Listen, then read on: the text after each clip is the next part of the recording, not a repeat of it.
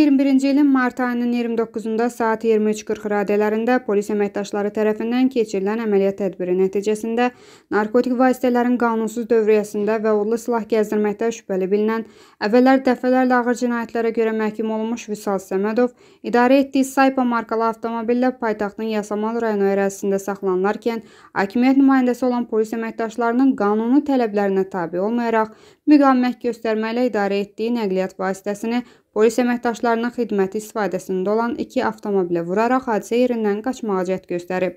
Bu barədə Baş Prokurorluq və Daxili İşlər Nazirliyinin mətbuat xidmətlərinin birgə məlumatında qeyd olunub.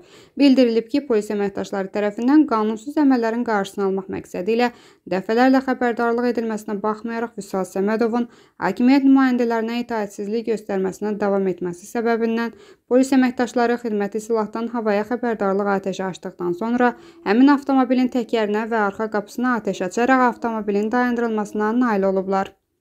Sürücü Vüsal Səmədov və sərnişinlər əvvəllər dəfələrlə məhkum olmuş Abid İsmailov və Əmrah Əhmədov saxlanılıblar.